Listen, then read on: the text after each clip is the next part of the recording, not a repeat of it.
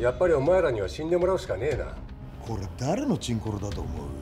それを確かめるために神戸に飛んだんじゃないですかね。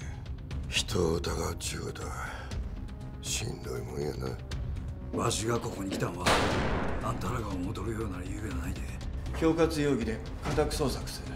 あちこちからうちの内部情報が漏れてるのは間違いないんだ。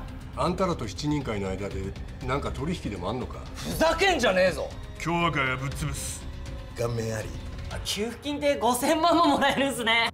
らしくねえことすんじゃね我々特捜班の功績を広く世間に知らしめることができる。毒飲みやがった。俺たちはその先を見据えている。その先ってやつを聞きてえな